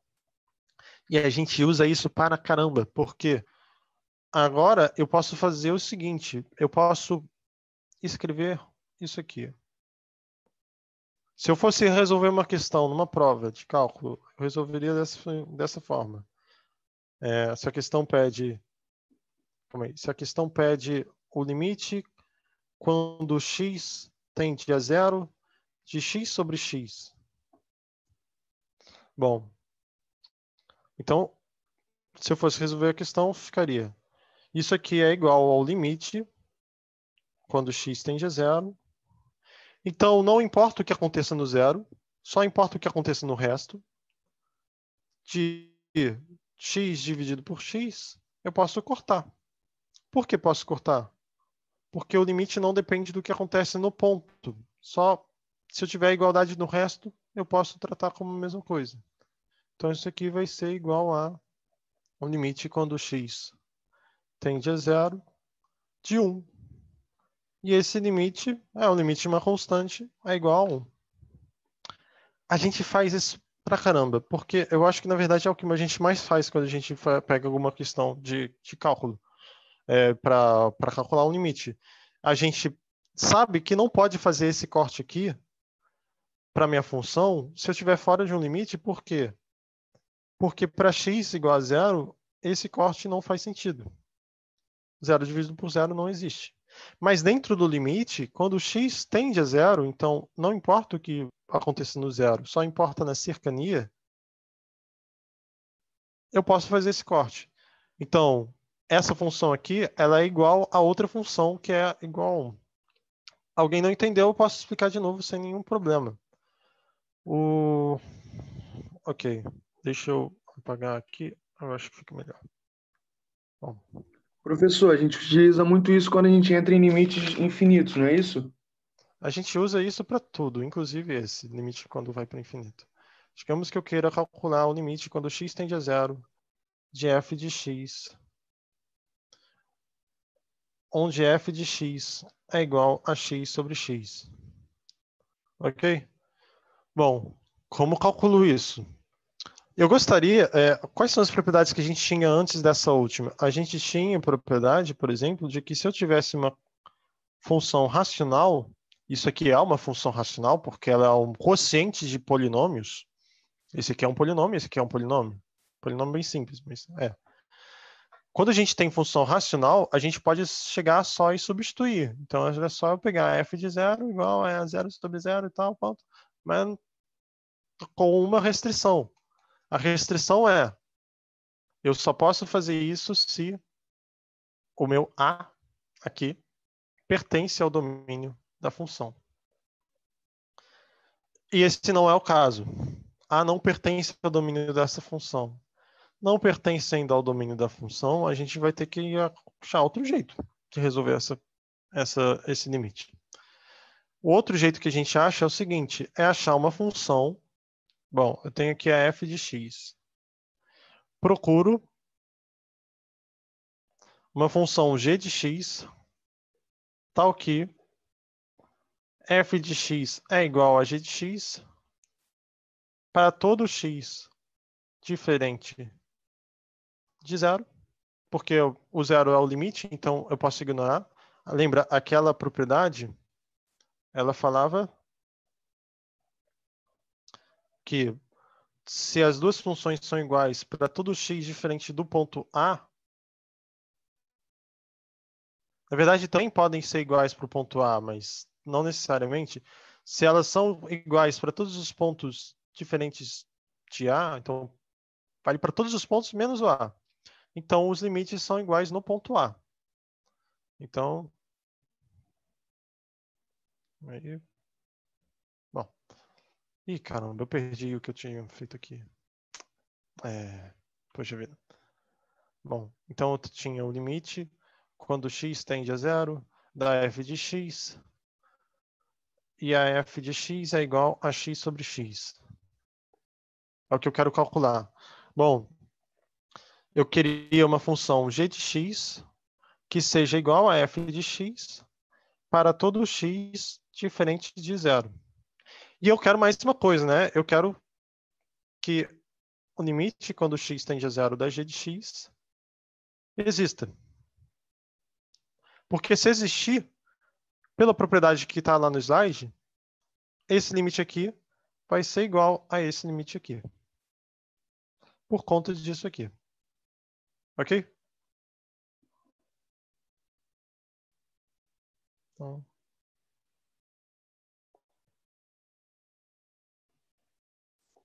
vai ser igual por conta disso aqui. Bom, agora a gente vê.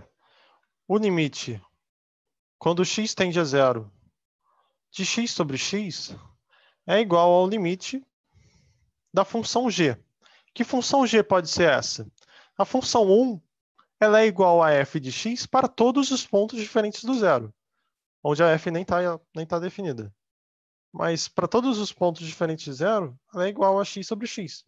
Porque se eu pegar qualquer ponto, 2, por exemplo, 2 dividido por 2 dá 1. Outro, 3. 3 por 3, 1. Ok. Então, ela é igual a 1. Se ela é igual a 1, eu posso usar a propriedade que é limite de uma função constante. Limite de uma função constante é a tal constante. E aí pronto. Tudo bem? Alguma dúvida?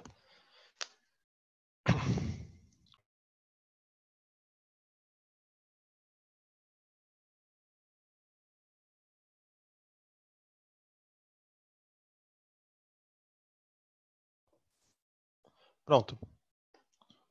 Ok, ah, fala. Alguém perguntando. Sim? Não?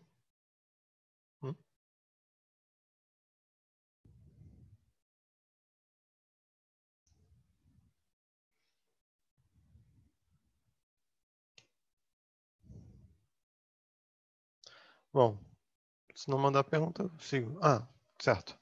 Numa prova, eu poderia simplificar o x dividido por x igual a 1? Ah, então. Eu posso simplificar dentro do limite. A importância que tem o limite. Eu posso usar que o limite dessas duas funções são iguais. Eu posso dizer que o limite da f de x é igual ao limite da 1. Mas eu não posso dizer que a f de x é igual a 1. Bom, eu posso dizer isso. Limite, quando x tende a zero, da f de x é igual ao limite da função 1, nesse caso, que é a minha, minha g, né? Eu posso cortar dentro da, do limite. Então, dentro do limite, vale fazer esse tipo de coisa. Ó. Limite quando x tende a zero, de x ao quadrado dividido por x, é igual ao limite quando x tende a zero, de x. Por quê? Porque está dentro do limite, eu posso desconsiderar o caso em que x é igual a zero. Desconsiderando o caso em que x é igual a zero, eu posso cortar. Cortando, eu tenho x.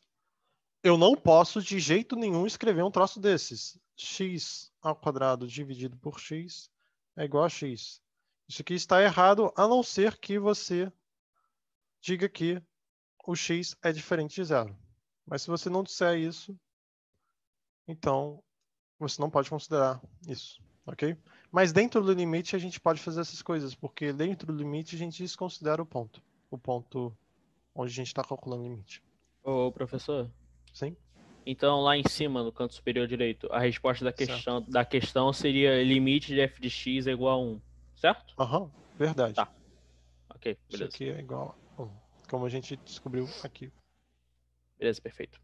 Obrigado. Beleza. Bom, alguma dúvida aqui? Não havendo dúvida, eu volto para os slides.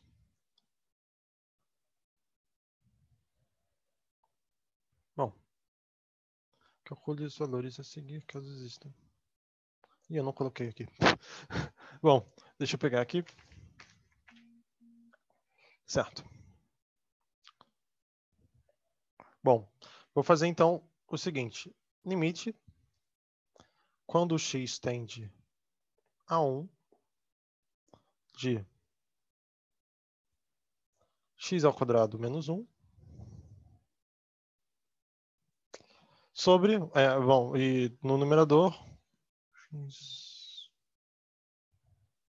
x ao quadrado menos 3x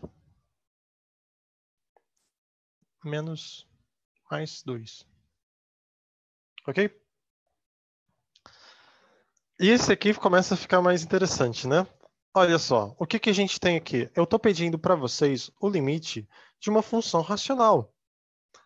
Se é o limite de uma função racional, a gente poderia pensar, bom, é, eu sei que função racional, se tiver no domínio, pronto, é só substituir. Porque a gente tem isso. A gente tem isso aqui, né? Substituição direta para função racional. Mas não vale aqui, por quê? Porque um não está no domínio. Primeira coisa é essa. Um não está no domínio da f de x. Se eu disser que f de x é... não está no domínio da f, se eu escrever que f de x é igual a essa racional aqui, x ao quadrado menos 3x mais 2 sobre x ao quadrado menos 1. Não posso, então, simplesmente chegar aqui e substituir. Mas eu posso tentar é, fazer alguma manipulação aqui para encontrar alguma função que seja igual a essa função aqui em todos os pontos, menos nesse ponto aqui, x igual a 1. Bom, como é que a gente faz isso no caso da x sobre x? Eu fiz isso percebendo que eu podia cortar x dividido por x se o x fosse diferente de zero. Da mesma forma, vai ser muito útil se eu puder cortar alguma coisa no numerador e no denominador. E que, bom, eu não poderia cortar aqui porque eu tenho a restrição que ela não existe quando x é igual a 1. E travou. Travou para mais alguém? Além... Não, tá, ok. É, bom, bom para quem perdeu, né? Uh, o, que, o que eu falei agora é que eu preciso achar uma função. Obrigado, gente. Eu preciso achar uma função que seja igual a essa função em todos os pontos tirando x igual a 1. E uma função que seja igual a todos os pontos tirando x igual a 1 pode ser uma função que venha do corte em cima e embaixo de uma expressão que eu não poderia que eu não poderia cortar caso x fosse igual a 1. Deixa eu então escrever isso de uma forma melhor. Eu poderia escrever aqui a parte o seguinte: se x é diferente de 1, podemos dizer que x ao quadrado menos 3x mais 2 sobre x ao quadrado menos 1. Outra coisa, vou falar uma coisa aqui que não depende do x ser diferente de 1. Eu posso reescrever essa equação aqui, essa expressão, usando é, fatorização polinomial. Alguém até já colocou no, no chat? Já resolveu? Fatorização polinomial é uma coisa que a gente usa muito para esse tipo de função, para esse tipo de questão de limite, cálculo de limites. Então, lembrando, fatorização polinomial para funções de segundo grau, como é que a gente fazia? A gente encontrava uma raiz da função, é, as raízes da função, deixa eu só lembrar, escrever aqui. Bom, lembrete. Se R1 e R2 são raízes de ax ao quadrado mais bx mais c igual a zero. Então, podemos escrever que ax ao quadrado mais bx mais c é igual a a vezes x menos uma raiz vezes x menos a outra raiz. Vocês lembram disso? A gente via isso é, mais ou menos na mesma época que a gente aprendeu divisão de polinômios no ensino médio. Eu achava isso pra caramba, maneiro pra caramba. Bom, eu vou apagar essa parte aqui, que é um lembrete, depois vocês podem dar uma olhada em outro lugar se precisar, mas fatoração, fatoração polinomial que a gente usa, né? E aqui eu falei apenas do caso do caso polinômio de segundo grau. A gente pode fazer isso para polinômio de mais grau, a gente só teria mais dificuldade de achar as raízes, dependendo. Bom, primeira raiz que eu acho aqui é x ao quadrado menos 1, uma das raízes é 1 e a outra raiz é menos 1. Na verdade, por produto notável eu já poderia escrever, né? Que isso aqui é reescrito como x menos 1, x mais 1. E aqui em cima? Aqui em cima, se eu procurar as raízes, posso usar a soma e produto. Eu acho que uma raiz é a x igual a 1. Opa.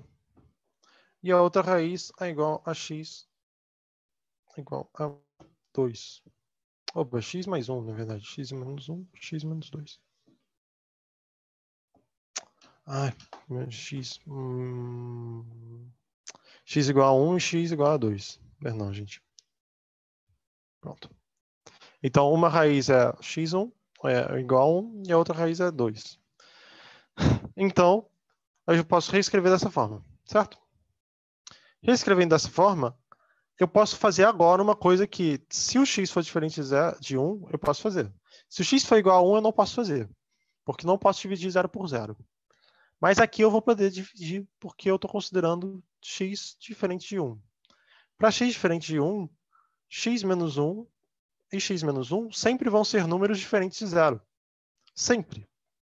Quando x é diferente de 1. Sendo números diferentes de 0, eu posso cortar. Porque eles são o mesmo número. Bom, cortando, eu tenho que isso aqui é igual a x menos 2 sobre x mais 1. Logo, eu achei uma função que eu posso usar para fazer esse papel. Papel da g da minha f. Uma função que seja igual a f em todos os pontos menos o x igual a menos 1.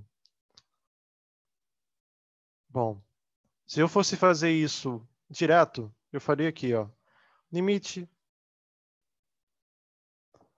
quando x é tende a 1 dessa expressão aqui pode ser reescrito como limite quando x tende a 1 de x menos 1 vezes x menos 2 sobre x menos 1 mais x mais 1. Isso aqui é igual ao limite quando x tende a 1 de x menos 2 sobre x mais 1. Bom, e agora, esse limite eu posso calcular? Eu posso calcular sim, por quê? Porque eu tenho a página anterior. É uma, uma função racional e o ponto que eu quero calcular, o limite, está no domínio dessa função. Está no domínio da função porque, bom, 1 menos 2 é menos 1 sobre 2, menos 1 sobre 2 é o valor da função no ponto 1. Podendo substituir, a regra da substituição direta me diz direto isso aqui que o limite vale menos 1 sobre 2. É, valeu o seguinte mesmo. O limite de g de x, nesse caso, é menos 1 sobre 2. Na verdade, o limite é de g de 1. Nesse caso, onde a minha g é essa expressão aqui.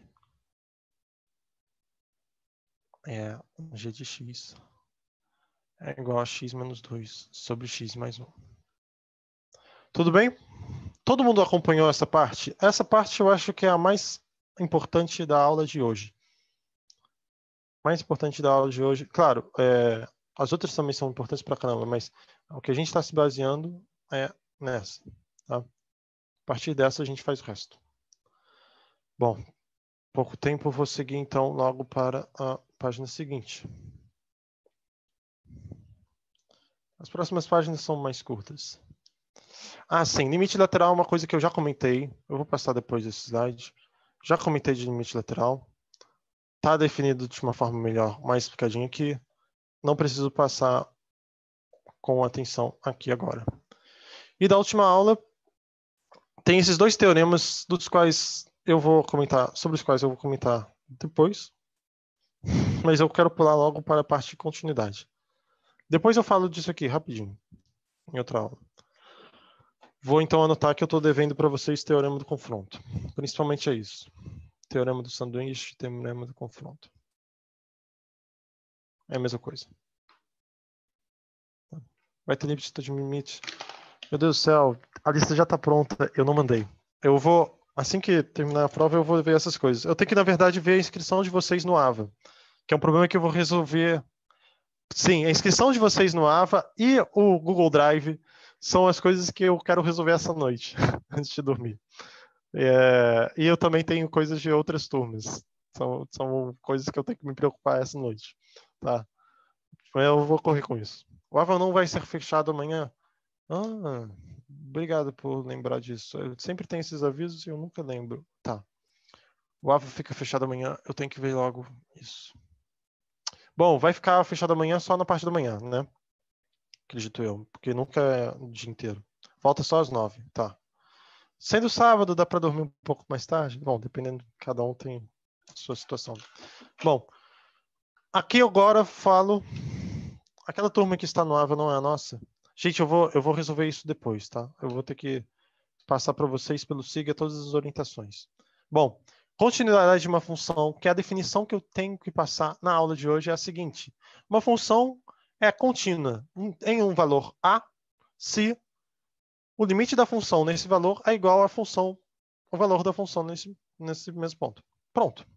É isso. Então, aquelas funções todas que a gente falou são contínuas. Contínuas em seu domínio. Como assim em seu domínio? Para os pontos em que a função existe, para os pontos que estão no domínio da função, o limite da função é só o valor da função no ponto. Pronto é o que a gente estava usando lá da regra de substituição. O que a gente estava usando da regra de substituição era isso. Então a gente tem aqui alguns exemplos de funções contínuas. A gente tem as funções polinomiais.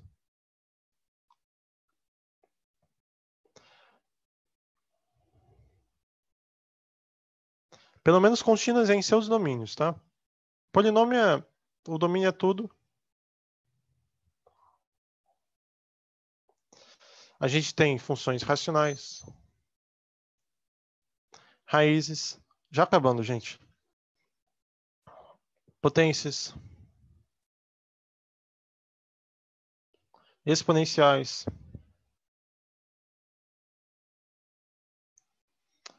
logaritmos, quando elas existem, né? Nos domínios. Trigonométricas. Todas essas funções que a gente aprende no ensino médio, ou que a gente também vem a conhecer, no meu caso, teve função aí que eu não conhecia no ensino médio. Mas todas essas funções são funções contínuas. A gente pode usar das benesses de ser uma função contínua, que é simplesmente substituir pelo valor da função. Bom, isso aqui, essa listinha aqui é importante. Quais são as funções? E é o que a gente vai voltar a partir da aula que vem. Porque a maior parte dos limites que a gente calcula é a partir de limites que a gente conhece, a gente está precisando manipular a função como a gente fez com aquela função racional. E a gente tem um teorema aqui da composição de funções. Se eu tenho composição de funções contínuas, eu tenho uma função contínua. Basicamente, o que eu estou dizendo nessa página é isso, tá? Não foge muito disso eu posso voltar depois com mais atenção. Tá bom? Deixa eu só ver da última página. Eu não sei se eu tinha deixado alguma coisa lá. O teorema do valor intermediário fica para a próxima aula. Deixa eu anotar que eu também estou devendo isso para vocês. Bom, gente, desculpa passar um pouco do horário. Disponibilizar o slide. É outra coisa que eu tenho. Eu tenho que anotar as coisas que eu estou devendo, senão Pronto. O slide vão, vai para o Drive. Eu vou disponibilizar no Drive. A lista tem que ir para o Drive, anotar isso também. Lista no Drive.